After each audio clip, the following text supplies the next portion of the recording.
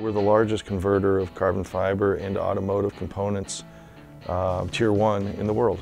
So we supply direct to the auto industry, to the, tier, to, the, um, to the OEMs, to the assembly plants. Our largest applications are on the Corvette, the new Corvette Stingray. Uh, we have all of the hoods, so we ship 180 hoods a day, which is um, a magnitude greater than has been done historically in, in carbon fiber.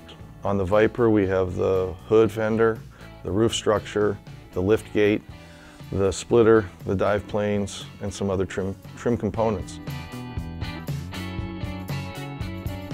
Well, for a, a, a strength to weight uh, ratio, carbon fiber gives the greatest value. It is the, um, the material that offers the greatest weight savings opportunity, and with CAFE standards going to 54 and a half miles per gallon by 2025, the car companies realize they can't do it all alone with um, whether it's electric, um, fuel cell, uh, hybrid, whatever. All of those technologies require lightweighting of the vehicles. Historically, carbon fiber has been converted in an autoclave, which is a big pressure vessel, looks like a, um, uh, a submarine. It's, um, it, it, it, heats the, the material and allows it to cure. But it is, like a convection oven, an inefficient way to heat the material. So the cycle times historically have been one and a half, two hours.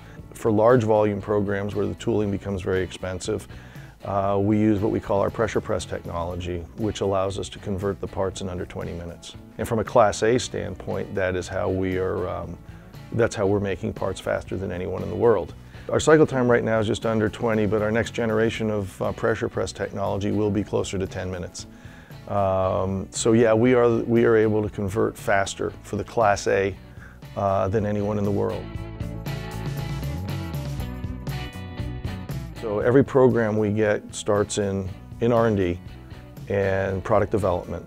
And then uh, we prototype here in Wixom. Uh, we have a small pressure press here. We also have an autoclave here. We build the prototypes here. Once they've been tested by the customer and accepted, then we scale up to uh, production tooling, which then takes place out in our Grand Rapids, our Walker facility in Grand Rapids. We took the technology from a concept to production in three years which was a huge undertaking, a huge challenge, and was extremely difficult.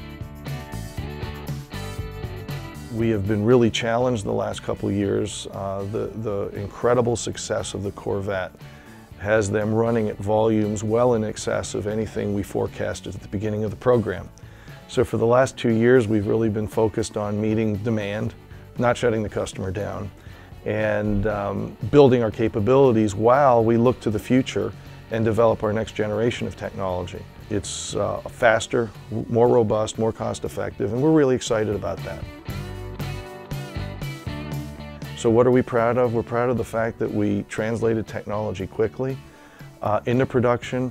Uh, we had the, the staying power to, to make it a reality through all the challenges of launch and ramp at the same time as advancing the technology for the next generation. So we're very excited and very proud of what we've done and the opportunity that's ahead of us.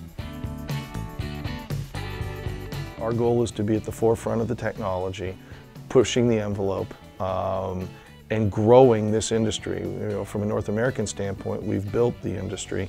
Now we want to grow it and lead it going forward.